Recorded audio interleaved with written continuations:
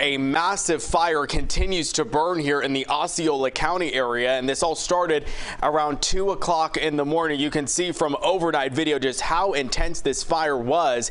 This all taking place at a nursery, and we're told by fire officials there in Osceola County that at least two acres of pallets that hold thousands of plastic pots caught fire. Now, crews have been there this whole time trying to extinguish that fire, but they say because of the area and the product that's burning, they're facing a lot of challenges challenges here. So folks are still seeing a lot of smoke out there and that fire continues to rage on. Now hazmat teams in Orange County, they're monitoring air, air quality. There are concerns over the air quality due to the amount of smoke in the air, but right now no evacuations by, for businesses or homes have been ordered.